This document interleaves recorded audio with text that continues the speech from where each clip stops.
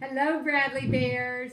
Eh, we're going to sing another song. So I wanted to sing the fishing song. We're going to sing it two times because it's so much fun. All right, get out your fishing poles. Are you ready? Here we go. You ever been a fishing on a bright and sunny day when you see the little fishy swimming up and down the bay with their hands in their pockets and their pockets in their pants? And all the little fishies do the hoochie coochie dance.